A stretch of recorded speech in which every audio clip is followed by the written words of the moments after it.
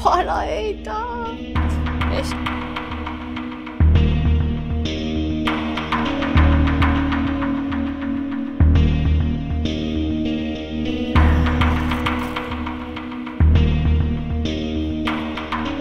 अब तो खुश हो ना? इस परांदे ने तो मेरी जान अजाब में डाल दी थी। वो तो अच्छा है ठेले वाले के पास मिल गया। अच्छा मोनी अब मेरी बात सुनो कान खोल के। हाँ? तुम किसी को मत बताना कि मैं तुम्हें यहाँ लाया था। समझ गई? अगर बताओगी ना तो मैं तुम्हारा टेटुआ दबा दूँगा। और किसी को ये भी मत कहना कि यहाँ क्या हुआ था। वरना मोनी मैं तुम्हें ना आग में जला डालूँगा। नहीं नहीं नहीं नहीं आग नहीं।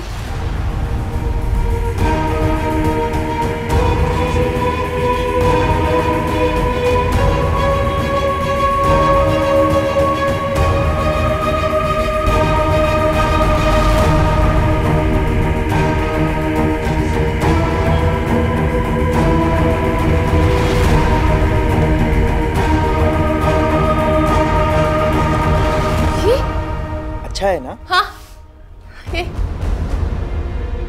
तुम कितनी प्यारी हो मोनी। अरे क्या हुआ? मैं पहना देता हूँ ना परांदा तुम्हें। अरे अच्छी तरह पहनाना आता है मुझे। अच्छा ये ब्लैक वाला बाँध देते हैं। देखो तुम्हारे बाल यहाँ से पीछे। ये कौन है? इस वक्त कौन आ गया? कहीं किसी ने देख तो नहीं लिया? क्या क्या करूँ? तुम तुम ये लो। ये लो, ये तुम्हारे लिए स्प्रे लाया हूँ और अच्छे बच्चों की तरह ना यहीं बैठना, आवाज़ मत निकालना। मैं अभी आ रहा हूँ, अभी आ रहा हूँ, ठीक है?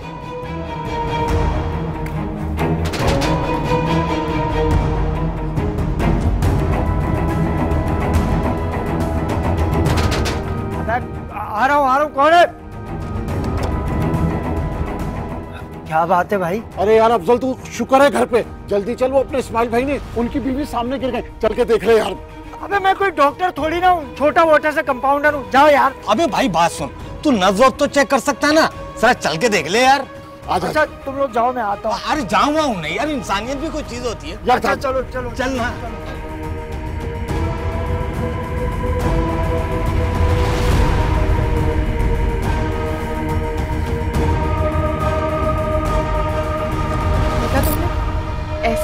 रिलेशनशिप होती है अपने घर वालों के साथ। तुमने देखा कि मैं कितने कॉन्फिडेंस से घर जाती हूँ? और उतने ही कॉन्फिडेंस से मैं घर से बाहर निकल जाती हूँ। कभी मुझसे कोई ये स्टूपिड सवाल नहीं करता कि कहाँ जा रही हो, किससे मिलने जा रही हो।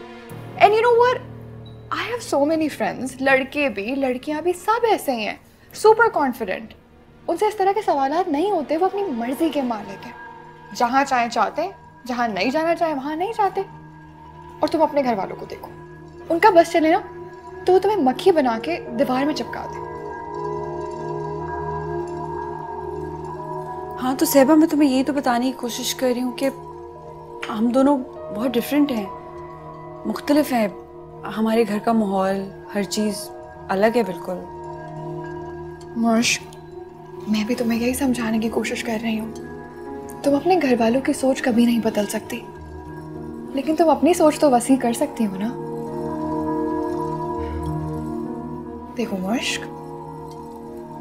जंजीरें तब टूटती हैं जब कैदी उन्हें तोड़ना चाहता है। You need to fight for your own rights पता नहीं।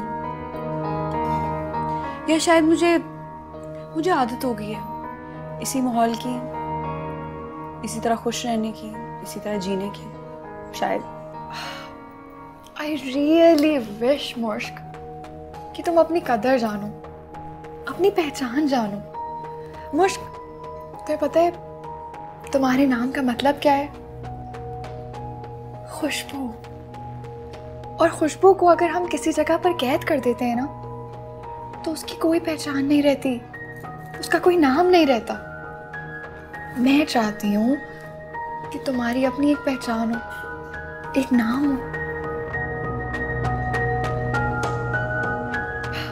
Anyway, think about what I said. Hmm?